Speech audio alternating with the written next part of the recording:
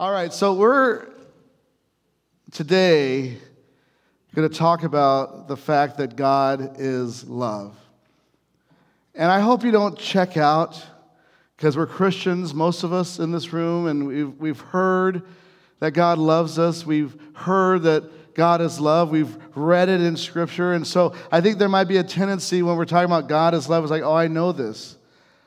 And I would just guess that there are some of us in this room that don't know it quite like we're going to talk about it today. Or perhaps we knew about it, but somehow we've forgotten it. And it's a very elementary, fundamental concept in Christianity, but I got to tell you that this message has challenged me.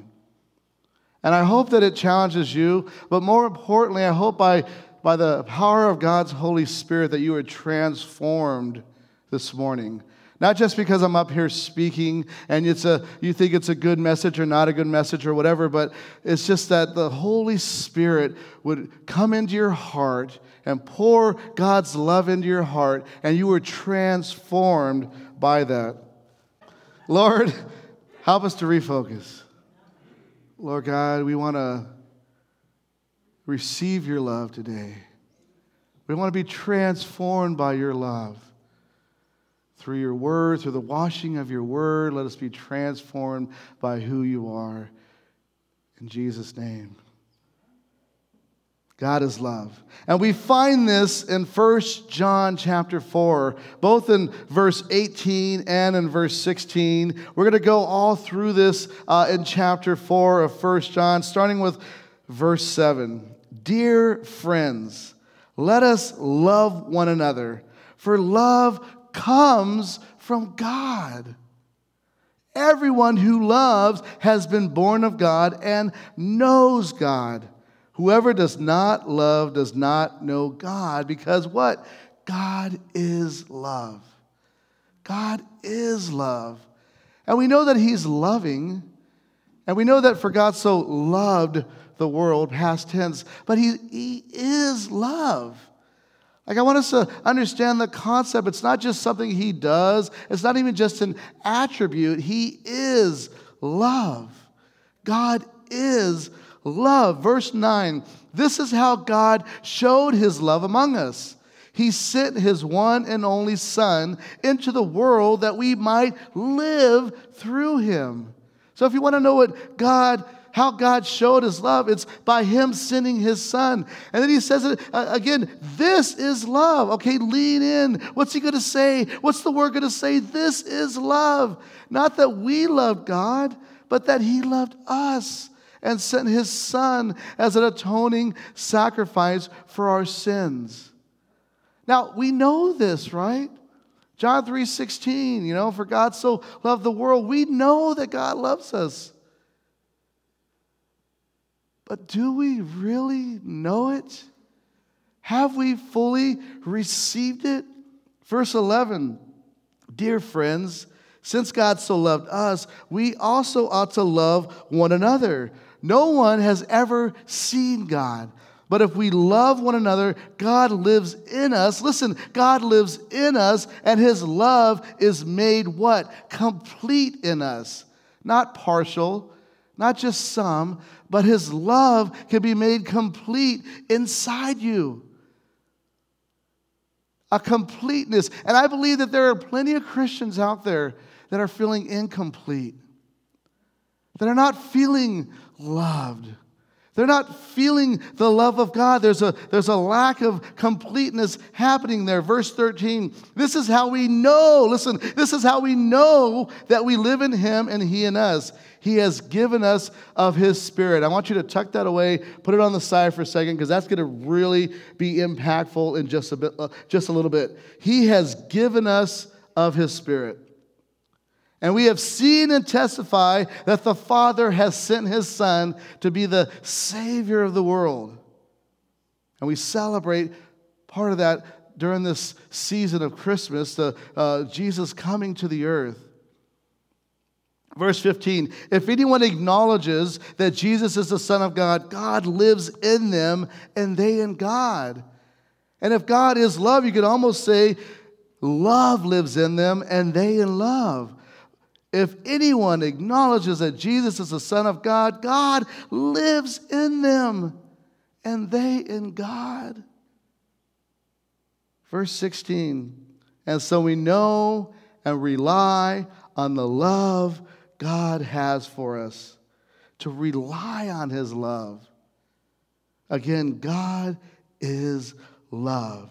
And whoever lives, excuse me, whoever lives in love lives in God and God in them.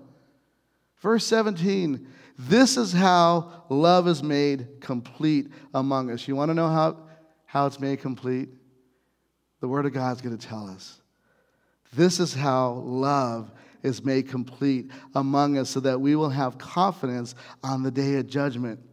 In this world, we are like Jesus. Now, what does that mean? I mean, it could, could mean a lot of things. We are called to be like Jesus. Christian actually means like Christ or little Christ. In this world, we are like Jesus. So when people see us, they need to see us just overflowing with love, knowing that we're loved and loving others. But I, what I love about this in this context, in this world, we are like Jesus. I believe this is also saying that when the Father sees us, he sees Jesus. He doesn't see all of our scars and our mistakes and our sins. But I believe there's a lot of Christians that are walking around wallowing in fear and wallowing in guilt and wallowing in condemnation. But when God the Father sees us, he sees his Son. We overcome by the blood of the Lamb and the word of our testimony. That's how we are who we are. That's how we've become Christians, is because of what Jesus has done for us. And so when the world sees us and when the Father sees us, in this world, we are like Jesus. Verse 18 Listen, there is no fear in love. But perfect love drives out fear because fear has to do with punishment. The one who fears is not made perfect in love. There are Christians that are afraid of hell still. There are Christians who think God is mad at them daily. There are Christians that are wallowing in fear, and it says, perfect love drives out fear. The one who fears is not made perfect in love. So if you have fear in your life about God's punishment or about God being mad at you, if you have fear in your life, you have to admit you, are, you have not been made perfect in love. There's still fear. You're still listening to the enemy's lies. You're still worried about your past. Like, what about my past? What about my past? You guys heard me share that a guy called me on the phone, and it was a good sized conversation. I could not convince him that he was redeemable.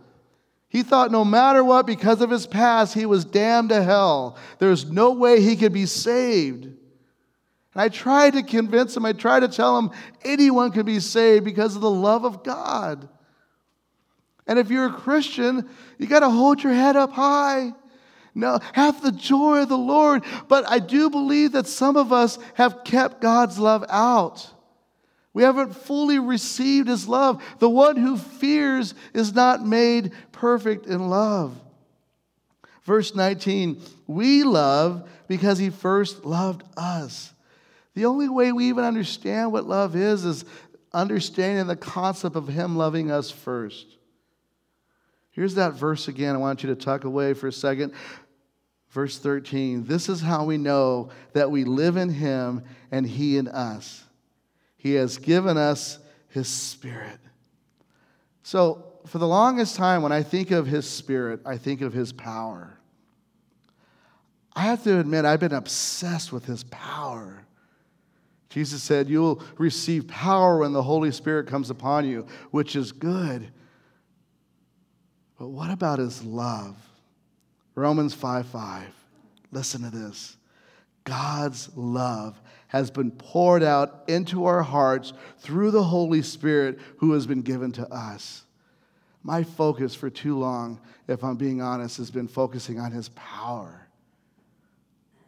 But the real power is in his love. I want us to look at something here for a second. I, when I think of in terms of God's love being poured out, I think of this. Let's just imagine that this is like a, like a piece of your heart. This is the, the area of your heart where you receive love, where God wants to pour his love into your heart. And so the Holy Spirit comes along and he wants to pour God's love into your heart. And the beauty of that is when that happens, we're able to give it back. We're able to love him back because we're full of his love. But oftentimes, for various reasons, we have a barrier around that area of our heart that keeps God's love from being poured into our heart. There's a barrier. It could be, you've heard me mention it before, our upbringing damaged us. There was neglect or abuse. Or even, perhaps you had the best upbringing in the world. I read this on desiringgod.com or dot whatever. Desiring God's a great website that has great articles. Even if you had the best parents and the best upbringing, perhaps you're leaning too much on your good upbringing. Or maybe when you got older, people burned you, people hurt you, and so you, you, you created this barrier around your heart, and, and God's trying to pour out His Spirit onto your heart, and like it, it doesn't get soaked into your heart. And, and you, you, try to, you, try to, you try to love others, you try to love God, and, and, and that area is still missing the love of God. And I want you to Open your heart up to God today and allow Him to pour His love into that area of your life so that you are full and it's overflowing and you're able to give back. You're able to love God because you're full. You're able to love others because you're full. And toss aside that barrier, toss aside the walls that you maybe put up around your heart Romans 5 6, you see at just the right time, we've been talking a lot about time lately, God's time. At just the right time, when we were still powerless, Christ died for the ungodly. That's unconditional love. If he died for you and then you got saved, how much more does he love you now? Christ died for the ungodly. That is a beautiful picture of unconditional love. You were ungodly. You were a sinner. You were unlovable. He continues, jump to verse 8, but God demonstrates, He demonstrates His own love for us in this. While we were still sinners, Christ died for us. You need to receive his love. In Matthew 22, Jesus tells us the two greatest commandments are love God and love others, which is impossible to do without God's love. You could try, I'm going to love God. I'm going to love others. I'm going to try real hard and you get frustrated and you fail and then you think God's mad at you again and again and you're afraid. You're afraid because you have not been made perfect in love. When you have a hard time receiving His love, it's difficult to obey and to love. 1 John 5 3. This is in the CSB. I believe it's the Christian Standard Bible. This is the version of the Bible that the Experiencing God book uses. And I hope that if you haven't got a copy yet, you can get a copy. We'd love to buy you a copy. If you can't afford one, jump in on the Bible study there. But it says this For this is what, lo- this is what love for God is to keep his commands, and his commands are not a burden. Do you hear what that says? This is what love for God is to keep his commands, and his commands are not a burden. I've often read these types of verses like this If I want to prove that I love God, I'm going to keep his commands. I need to perform for God in the way of obedience in order to receive his love. Or because I love him, I keep his commands. Do you see the difference? And he says it is not a burden. Jesus says, My burden is easy and my yoke is light. It's not to be difficult because He's the one that empowers us to love. He's the one that empowers us with His love to obey Him. Again, uh, in the CSB, this is John 14, 21. a matter of fact, this is the Unit 4 memory verse from Experiencing God, our Bible study. Jesus said this The one who has my commands and keeps them is the one who loves me. And the one who loves me will be loved by my Father. I also will love him and will reveal myself to him. Listen, do you love God and then obey? Or do you obey in order to receive love from Him? I want us to look at the, well, first of all, I want to look at 1 John 4 18 first. Again, fear has to do with punishment. The one who fears is not made perfect in love. I want you to ask yourself today do you want to be made perfect in love today? Or at least start the journey? Because here's the thing I think a lot of people, when they get saved, they got saved out of fear. Like, I don't want to go to hell. And so they get saved. They receive Jesus as their Lord and Savior. But listen, that's how the relationship started. And for a lot of us, that's how it continues. It began with fear and it continues with fear. The one who fears is not made perfect in love. Listen, I think it's important for people to get saved no matter what. I mean, they're going to get saved out of fear, fine, get them saved, but I think they need to really, really understand God's love. It's important for us to understand God's love and to receive His love, knowing that it's unconditional. Let's look at 1 John 5 3 and John 14 15 in the NLT. Loving God means keeping His commandments. If you love me, obey my commandments. I'm not sure how many of you read it the way I've read it to where if I obey him, I'm, I'm performing for him, I'm proving my love, and then I'll receive his love. But we're supposed to be receiving his love, and then we just obey out of, out of the love relationship that we have for him. We want to obey him, and he empowers us through his love to obey him. So look at this two different ways of looking at God's love. I obey God to earn his love, or I obey God because he loves me. Let that sit with you for a little bit. Which one are you?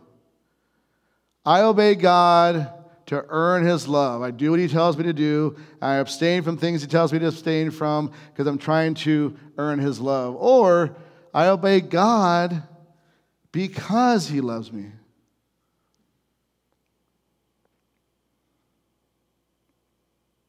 Okay, here's the next one.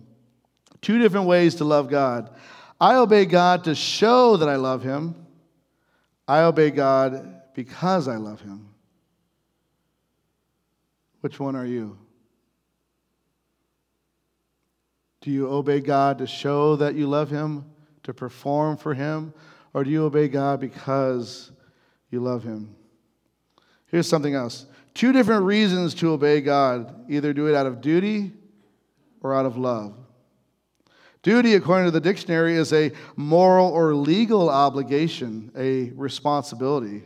Love is an intense feeling of deep affection. That's an okay definition. We'll look at 1 Corinthians 13 in just a little bit. But according to the dictionary, love is an intense feeling of deep affection. So, which one are you?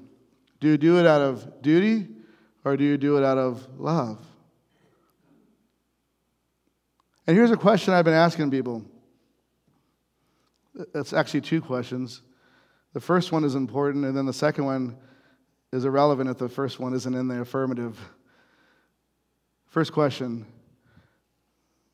When push comes to shove, will you die for Jesus?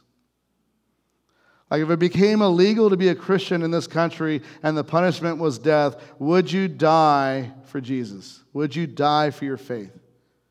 Just let that sit there for a second. Would you die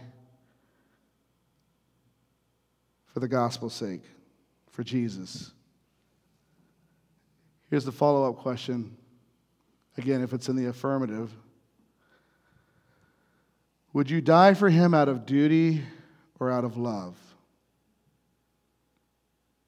It's a pretty poignant, powerful question. I think if I was to answer that question, I think typically Chris Santos would do it out of duty. I would probably do it out of, out of duty.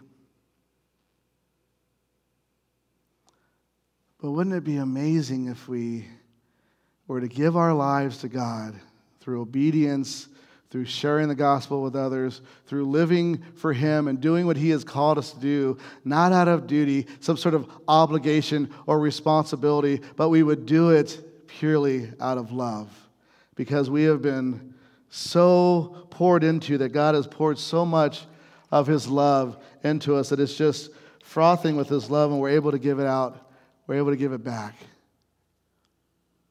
You know, it reminds me of the Pharisees. This is just a little snippet of, of, of Jesus' interaction with the Pharisees. Luke 11 42. Woe to you, Pharisees, he says, because you give, a, uh, give God a tenth of your mint, rue, and all other kinds of garden herbs. So, in other words, they're good on tithing. But you neglect justice and what? The love of God. You should have practiced the latter without leaving the former undone. So he's saying, hey, look, it's great. I'm glad you're tithing. Wonderful. But you're forgetting the most important thing the love of God. And I always have compassion and empathy for the Pharisees because I think they were trying to get it right, at least at first. At first, they were trying to get it right. Just like a lot of us as Christians that have been walking with God for a long time, we're trying to get it right at first. But the, but the point is, you can't get it right. Without Him, apart from Him, we can do nothing. It's His love that empowers us to live out the life that He has called us to live out. So I've heard the question plenty of times why did God give us free will? Why did He give us free will? Why didn't He just, just make us like obedient people? You know, like we just obey Him no matter what. Well, that's not love. Love is when you choose. You receive love from Him and then you choose Him. If we were just doing everything that He asked us to do or told us to do because we're programmed to do that, that sounds very much like a robot. Here's some definitions of robot. Be honest with yourself and with God. Does this somewhat sound like your relationship with God. A machine resembling a human, being and able to re- replicate certain human movements and functions automatically. Here's some sub definitions. A machine capable of carrying out a complex series of actions automatically, especially one programmable by a computer. Here's the one I really want to get at here a person who behaves in a mechanical or unemotional manner. You're just going through the motions. You're just obeying God out of duty as opposed to out of love. And it's possible that part of the reason why is that you have this barrier around the area of your heart that's intended and designed to receive love from God. And God wants you to open your heart to Him and receive His love. And I believe it has to be a supernatural thing. You can't force it. You can't take God's love and just cram it into your heart. And you can't do anything about it. You have to wait upon Him and just say, God, I realize that I don't have my heart full of your love. I realize I've just been going through the motions. I, I realize I'm just doing things out of duty and responsibility and codependency or whatever, fill in the blank. Like I just, I just been kind of robotic. I get frustrated with people. I get frustrated with myself, and I, I, I constantly feel empty. I, you want me to love you and love others, but I'm just so empty. 1 John 4 19. We love because he first loved us. We have to remember that. That he first loved us with an unconditional love. Verse 18 there is no fear in love None. There's no fear in love. But perfect love, perfect love drives out fear. You want to get rid of fear in your life? You want to get rid of that feeling that God is mad at you? You want to get rid of that, that fear of hell? I'm talking about Christians. Listen, if you're not a Christian, I believe that you should be draw near to God and He's going to draw near to you. If you're not a Christian, I believe that you need to accept Jesus Christ as your Lord and Savior and receive God's love so that He can empower you to love Him back and, and love others. There is no fear in love, but perfect love drives out fear because fear has to do with punishment. The one who fears is not made perfect in love. Listen to that line. Fear has to do with punishment. I'm afraid God's going to be mad at me. I'm, like, how often do you try to make decisions? I don't know if I should go right or go left. Uh, if, if I choose left and it's wrong, then God's going to be mad. If I choose right and it's wrong, God's going to be mad. I'm always, I'm just always afraid. Oh man, I, I messed up again. I sinned again. God's got to be mad at me by now. Maybe it's just one too many sins and I'm getting kicked out.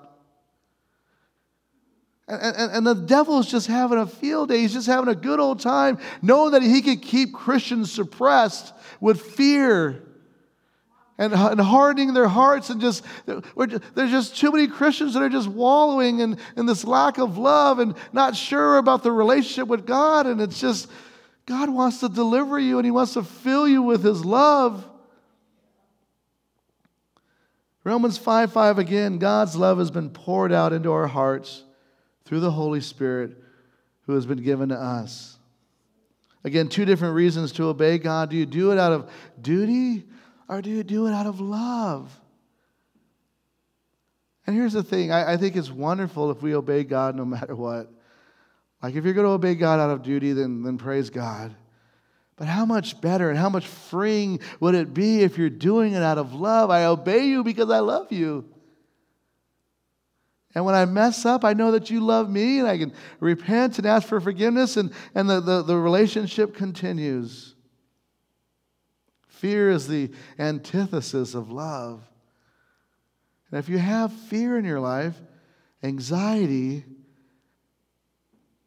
then your love meter is off. You're, you're, you're, you're more dry than you are full of God's love. If, if, if, if, you're, if you're experiencing fear,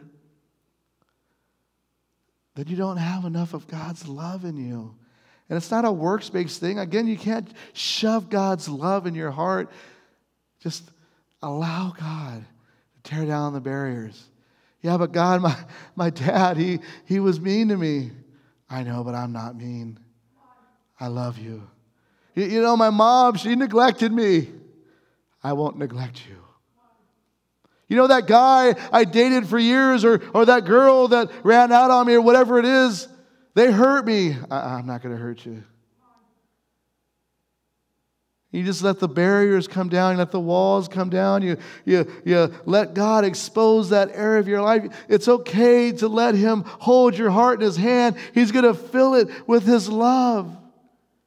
And first and foremost, you're going to feel loved. And as you feel loved, you're going to express that love back to Him, and you're going to express that love to other people because He wants us to love Him and love others. What does that look like? We're going to look at 1 Corinthians chapter 13. I don't know if you guys remember the spirit filled sandwich that I talked about. 1 Corinthians chapter 12 talks about the, the gifts of the Spirit, like, like the power of God. And then chapter 14 talks about the gifts of the Spirit, the power of God. And it's the, the bread of the sandwich. But right in the middle, he talks about love. And he says, You can walk in power with God. You can do these amazing things for God. You can go out and just do this awesome stuff for God, but if you have not love, you're nothing. Matter of fact, you're a clanging gong and a clashing cymbal if you have not love. It doesn't start with his power, it starts with his love. What does it look like? Love is patient. Traffic, the Starbucks line, you know what I'm saying? Love is patient. Love is kind. Oh, I, I wish they'd get theirs, you know what I'm saying? It does not envy. You're not trying to keep up with the Joneses. It does not boast. It is not proud. There's a humility. When you are full of love, there's a humility that comes. You don't need to boast. You don't need to prove yourself to anybody because you're loved by your Heavenly Father.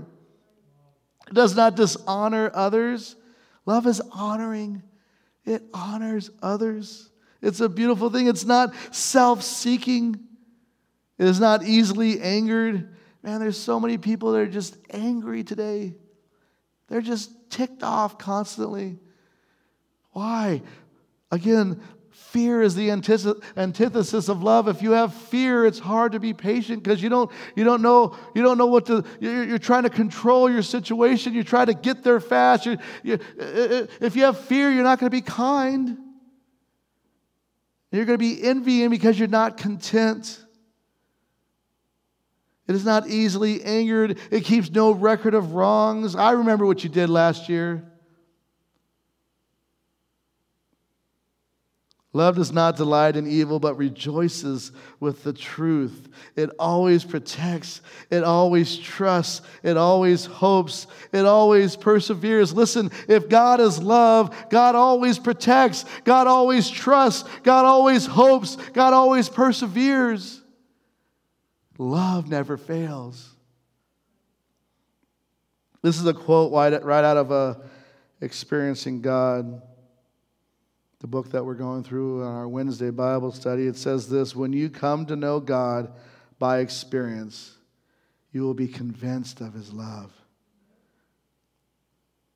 When you are assured of his love, you can believe him and trust him.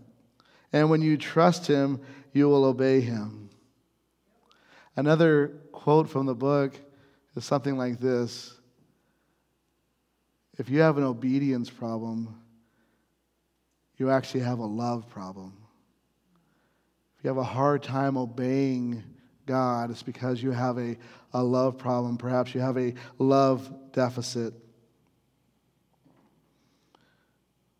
In closing, I want to show you Ephesians chapter, chapter 3, excuse me. I pray, this is Paul writing, I pray that out of his glorious riches, he may strengthen you with power through his Spirit in your inner being, so that Christ may dwell in your hearts through faith. And I pray that you, being rooted and established in love, may have power together with all the Lord's holy people to grasp how wide and long and high and deep is the love of Christ and to know this love that surpasses knowledge, that you may be filled to the measure of all the fullness of God. A couple of things I want to point out here back in verse 17.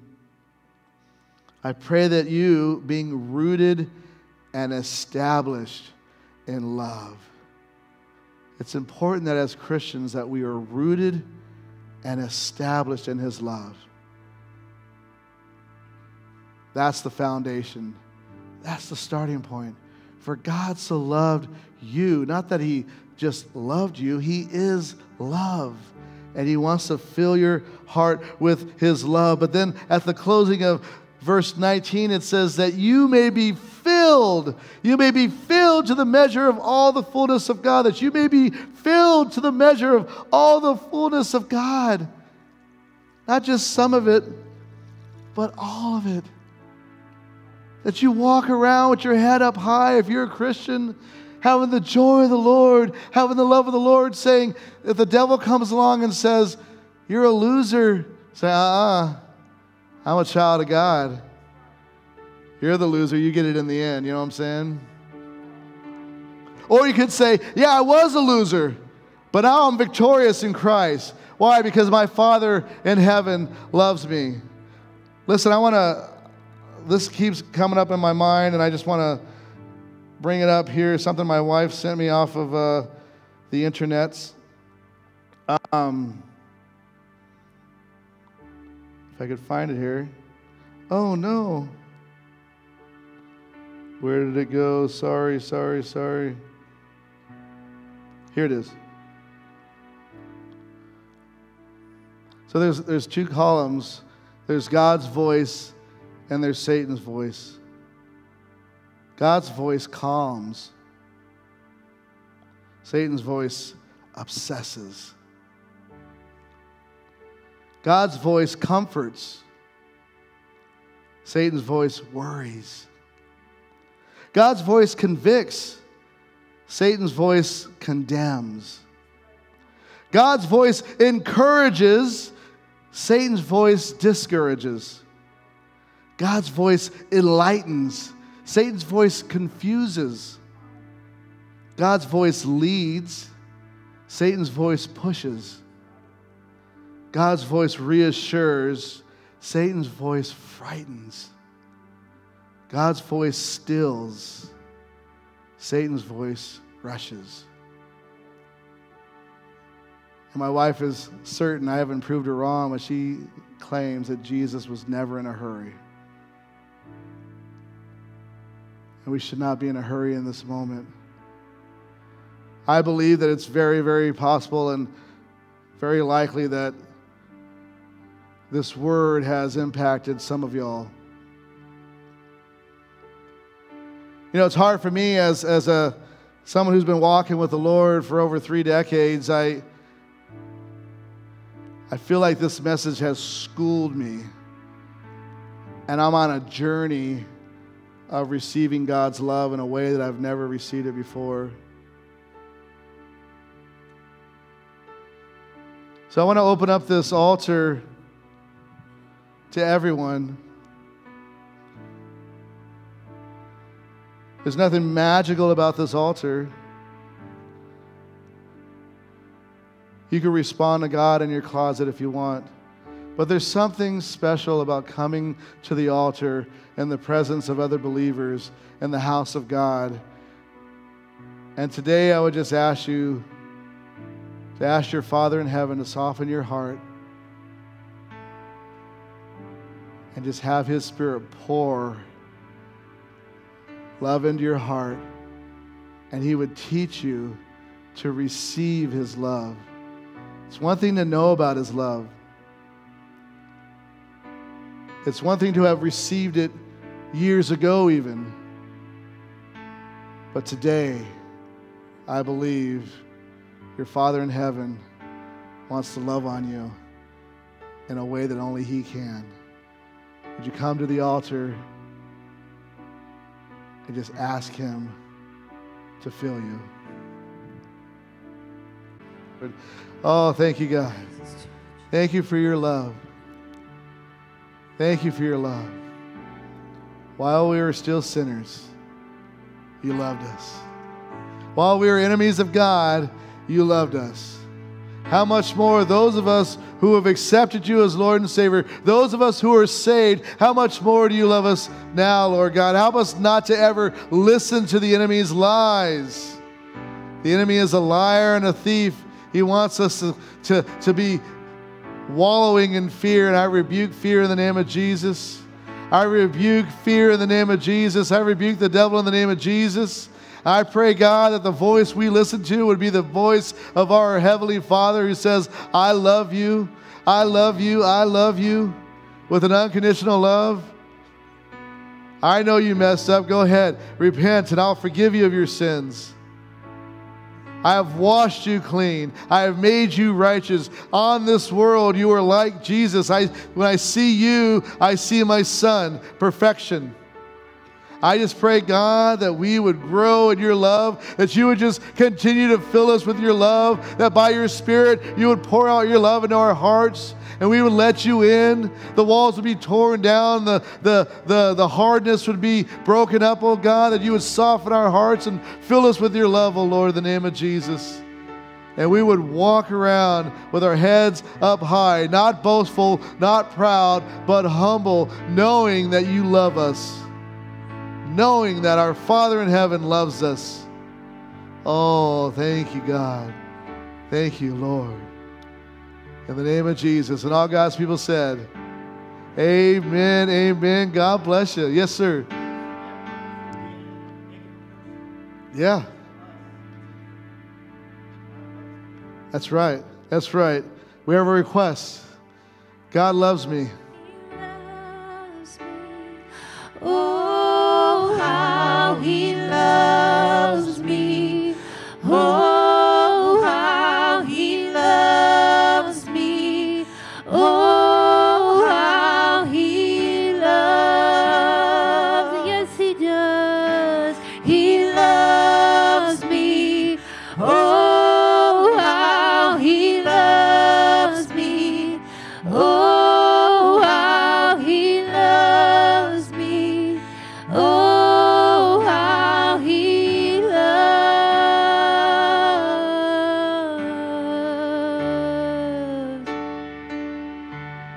Now go love on each other.